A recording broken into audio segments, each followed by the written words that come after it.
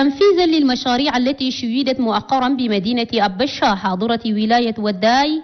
جاء استكمال مبنى ثانوية بستان العارفين الذي بدأ مشروع بنائه بتاريخ الثالث عشر من مايو 2019 بمبادرة من مؤسسة وادي كندي وبأمر من رئيس الجمهورية المشير إدريس ديبي إتنو يأتي افتتاح ثانوية بستان العارفين من قبل وزير التعليم العالي والبحث والابتكار.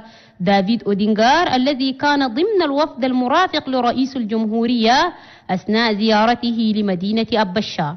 وبعد الافتتاح الرسمي من وزير التعليم قام سلطان دار وداي شريف عبد الهادي مهدي بتسليم مفاتيح المؤسسة لمدير الثانوية. مدير ثانوية بستان العارفين محمد يوسف سنوسي عرادة قدم عرفانه لرئيس الجمهورية المشير إدريس ديبي إتنو بتنفيذ المشروع. شاكرا في الوقت نفسه رئيسة مؤسسة القلب الكبير سيدة البلاد الأولى هند ديبي إتنو بإعانتها لهم بالمقائد المدرسية.